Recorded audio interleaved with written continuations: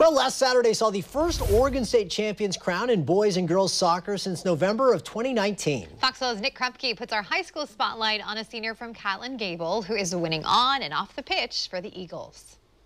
Rueda. It's a little bittersweet, but happy to end on undefeated season. Carter still got room, gonna wind, fire, shot, goal. That's Rueda. Catlin Gabel's senior Felipe Rueda added something fresh to his ongoing collection of championship bling. It's more than just a team. It's a really the program and the school that we're representing out there, and I take it with pride. The 17-year-old leader from the 17-0 club notched three goals and three assists in the Eagles' 3A, 2A, 1A crown over the weekend, a 14th in program history, a third in Felipe's outstanding prep career, after no big blue OSAA trophies were handed out a year ago. Soccer has always been my way to, it's always been there for me, form of therapy, you know, uh, people say when you get out on the field, all your problems go away. And so throughout, when COVID started, soccer was my outlet. It was the one thing I could do. CG's girls and boys relished the moments to celebrate as state queens and kings, just like they did two seasons ago. Just like sophomore year. So it was awesome. We saw their game, obviously an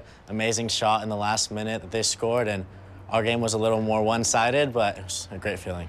Rueda's 41 goal and 19 assist season now readies himself to leave the nest and become a polar bear. Doesn't get much better than that. Yeah, you gotta get some polar bear. Yeah. All right. You're gonna win every 50-50. You're gonna win the ball. Following up his club season with United PDX, Felipe is set to play for Division Three Bowdoin College in Brunswick, Maine. It was a you know, a school I could only dream of going to, excellent in academics and athletics, and it was everything I was looking for. A tight campus and small community, just like sweet home Catlin Gabel. I want to study uh, economics and neuroscience, double major. I've, I've, always been interested in the intersectionality between both. Uh, I've also enjoyed philosophy, and so Bowdoin, they have a cool program that uh, you know, with the liberal arts curriculum that delves into all of those at once. The Rueda family moved to the States from Colombia before Felipe was born. My parents instilled values of hard work, discipline.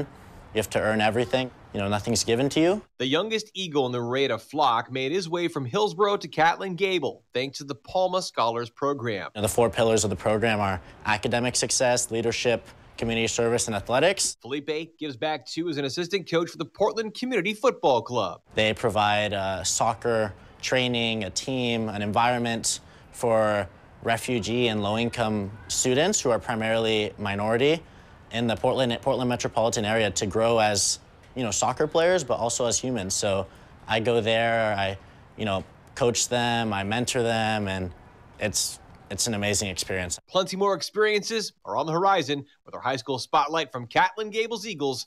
Nick Krupke, Fox 12 Oregon. If you have a local prep athlete in mind who deserves some recognition in the spotlight, just drop Nick a line so they can be featured right here on Good Day Oregon.